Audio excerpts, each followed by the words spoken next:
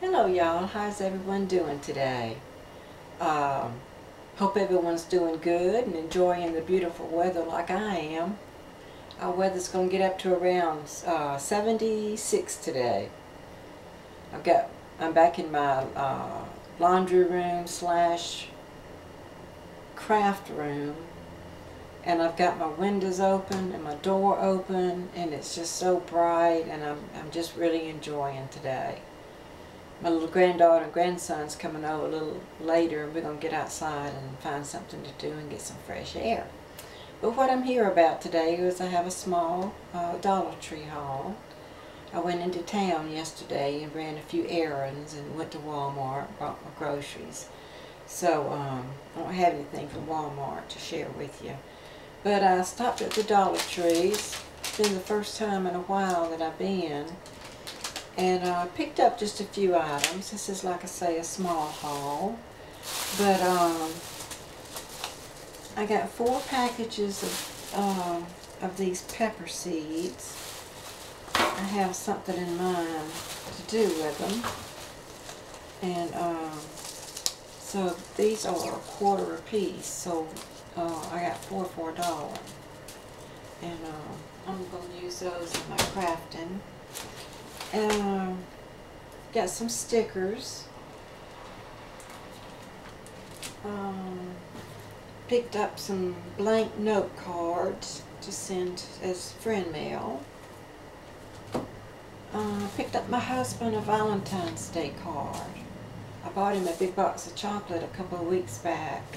So um, I was I was planning on making him a card, but I I just didn't. I didn't have the right paper to make it with, so I went ahead and bought them. And in fact, they were on sale. Uh, I guess they were on sale. They were two for a dollar, and I just got this one, so it was 50 cents. And uh, I think that's a real pretty, real pretty card for him. Bought these beautiful spring-looking pencils. I just couldn't pass them. Just I went past them one time and I went back and I said, these are just so pretty, I've got to buy them. Got to get them. So I'm going to use those probably to put in pocket letters.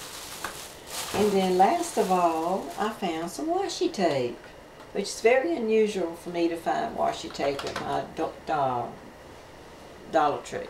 Found four different kinds. Um, got this. This is brown looking roses. I think they're roses, but some kind of floral. Um, got little pencils and crayons. Thought those were cute.